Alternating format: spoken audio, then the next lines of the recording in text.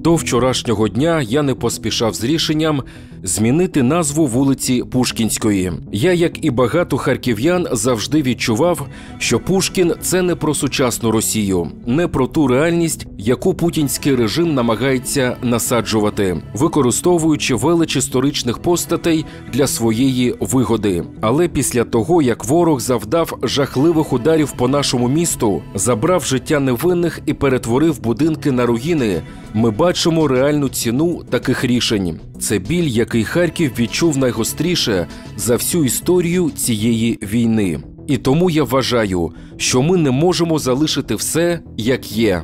Я пропоную дати вулиці ім'я нашого великого земляка Григорія Сковороди, людини, чия філософія життя та свободи була в корені протилежною імперським амбіціям. Він учив нас цінувати життя та свободу кожної людини, і ці принципи є найкращою відповіддю на виклики, з якими ми зараз стикаємося.